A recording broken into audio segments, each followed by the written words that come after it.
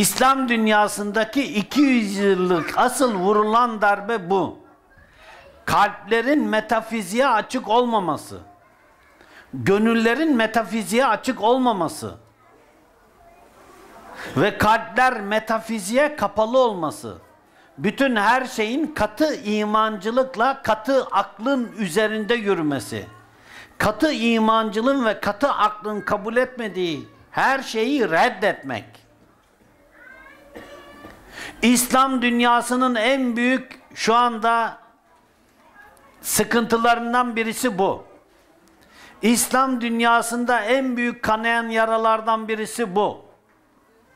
Biz bizi metafiziğe yönlendirecek, duygulara yönlendirecek, sevmeye yönlendirecek, Allah'ı sevme noktasına, Hazreti Resulullah sallallahu aleyhi ve sellem hazretlerini sevme noktasına, insanları sevme noktasına götürecek olan metafizik yollarını kapattık. Bunun yolu neydi? Bunun yolu tasavvuftu.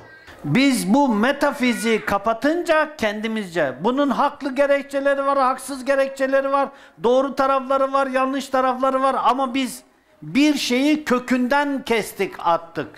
Onu aralayıp aşılayacağımıza, onu rentable hale getireceğimize biz onu kökünden kestik, attık. Ve İslam dünyası şu anda bir tarafta katı akılcılık, bir tarafta katı dindarlık demeyeceğim ben buna. Katı bir şekilde aklın öngördüğü şekilde sadece meselenin yüzeyisin, yüzeyine bakan, sadece meselenin dışına bakan bir görüşün altında eziliyor.